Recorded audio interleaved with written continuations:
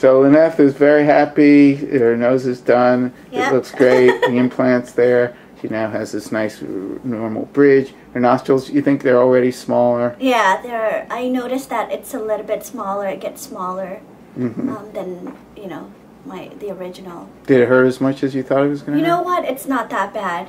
Yeah. hmm It's it's not. I thought it was like the worst thing ever happened to me, but you know what? It's, it's It was really not okay. bad. After like a day or two, I felt better. Wow. Yeah, it's true. Well, thank you, Dr. Burres. Yeah, thank you, Dr. Burres. Okay, congratulations. thank you.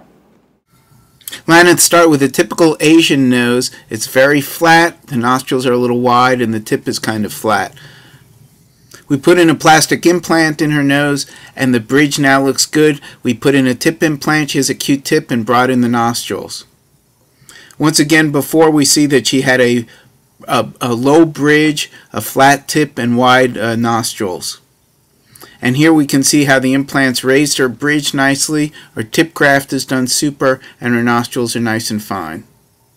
The profile also shows before how it was kind of uh, flat and had poor projection. With her new implant and tip graft, she has beautiful projection and an excellent profile. Congratulations, Laneth. We're proud of you.